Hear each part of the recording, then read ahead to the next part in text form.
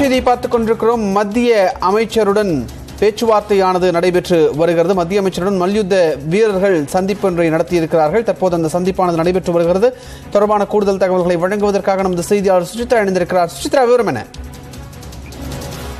மல்யுத்த சம்மேளன தலைவர் பிரிஜ்பூஷன் சிங் சரணுக்கு எதிரான பாலியல் குற்றச்சாட்டில் அவரை கைது செய்ய வலியுறுத்தி மல்யுத்த வீரர்களுடைய போராட்டம் என்பது கடந்த ஏழு மாதங்களுக்கு மேலாக நடைபெற்றது. டெல்லியில் மட்டுமே சுமார் ஒன்றரை மாத காலமாக நடைபெற்று வந்த நிலையில் அவர்கள் தற்பொழுது மத்திய அரசுடன் பேச்சுவார்த்தையானது டெல்லியில் நடைபெற்று வருகிறது.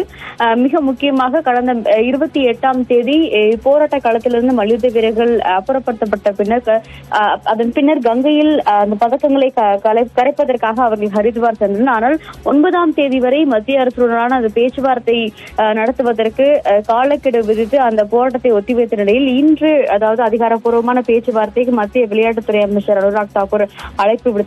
அதனை ஏற்று தற்போது அவருடைய இல்லத்தில் இந்த பேச்சுவார்த்தை என்பது தற்பொழுது நடைபெற்று வருகிறது.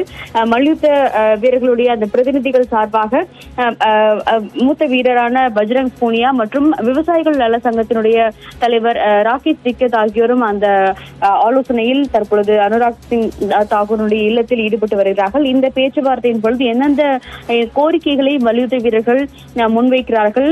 பிரிஜ்பூஷன் சிங் மீதான குற்றச்சாட்டு மீதான நடவடிக்கை என்பது எப்படி எடுக்கப்பட போகுது என்பது தொடர்பான பல்வேறு அம்சங்கள் குறித்து அவர்கள் ஆலோசிக்க உள்ளதாகவும் தகவல்கள் தெரிவிக்கின்றன. மிக முக்கியமாக இன்றைய அந்த ஆலோசனை பொறுத்த அளவில் அவர்களுடைய அந்த போராட்டத்தை கைவிட வேண்டும் என்ற ஒரு கோரிக்கையை மத்திய விளையாட்டுத்துறை அமைச்சகம் சார்பாக அமைச்சர் முன்வைக்க உள்ளதாகவும் அதிகாரிகள் தெரிவித்திருக்கிறார்கள். தற்பொழுது டெல்லியில் இந்த அதிகாரப்பூர்வ பேச்சுவார்த்தை என்பது இரண்டாம் கட்ட பேச்சுவார்த்தை என்பது தொடங்கி இருக்கிறது முதற்கட்ட பேச்சுவார்த்தையை பொறுத்தமட்டில் அது தோல்வியில் அடைந்தது என்றுதான் கூற வேண்டும். இரண்டு தரப்பிற்கும் ஒரு சுமூகமான கருத்தானது எட்டப்படாத நிலையில் அந்த பேச்சுவார்த்தை தோல்வியில் முடிந்த அடுத்து நேற்று இரவு அதிகாரப்பூர்வமான மீண்டும் இரண்டாம் கட்ட பேச்சுவார்த்தைக்கு அனுராக் சிங் தாக்கூர் அழைப்பு விடுத்திருந்தார். அதனை ஏற்று தற்பொழுது இந்த ஆலோசனை என்பது டெல்லியில் நடைபெற்று வருகிறது விஷ்ணு. நன்றி சுச்சித்ரா உங்களுடைய தகவல்களுக்கு.